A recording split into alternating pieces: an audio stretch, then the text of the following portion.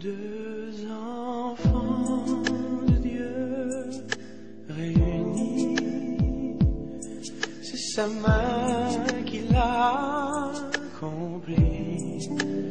Il vous aime et vous bénit.